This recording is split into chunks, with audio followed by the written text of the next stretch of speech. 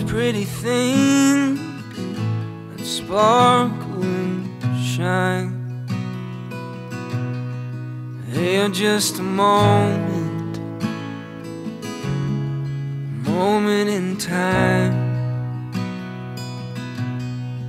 Make me feel nothing like I feel when I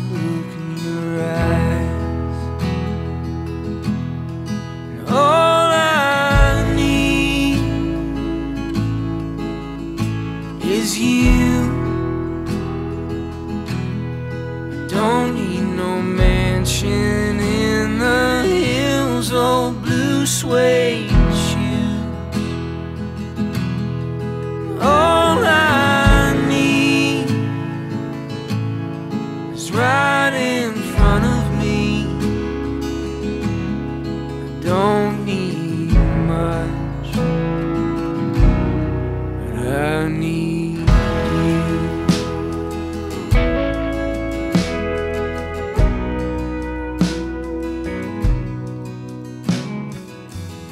Dear Logan, from the first time I was around you, I knew I wanted you in my life, but God knew how much I needed you in it.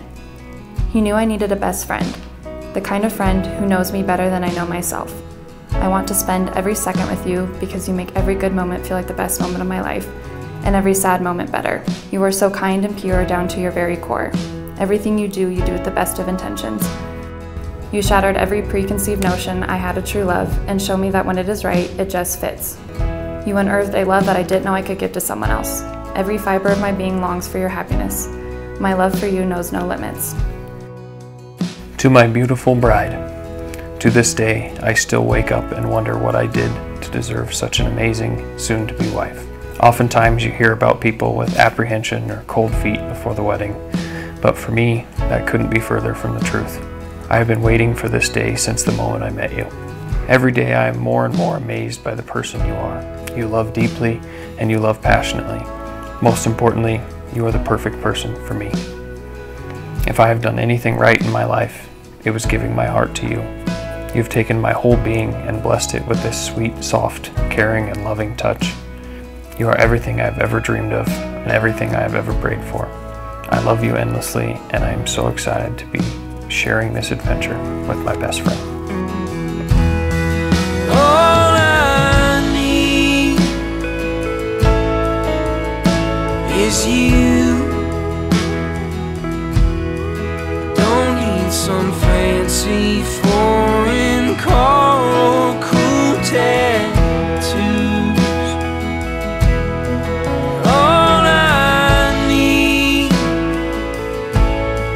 right in front